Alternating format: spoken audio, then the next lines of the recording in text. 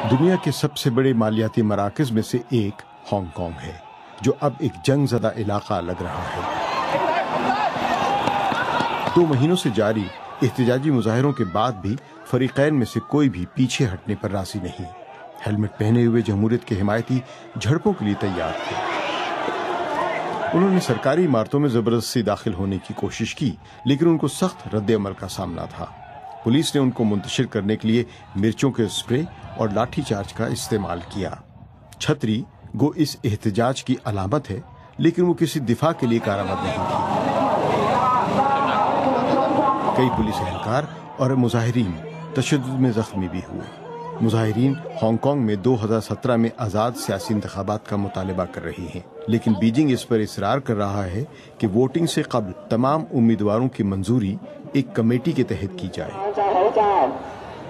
مصالحت کا امکان کم کم ہے، جس کی وجہ سے کشیدگی جاری ہے۔ مظاہرین اب اس بات پر منقسم ہے کہ آگے کیسے بڑھا جائے۔ کچھ مظاہرین حکام کا مقابلہ کرنے پر زور دے رہے ہیں، لیکن اکثریت پر امن احتجاج چاہتی ہے۔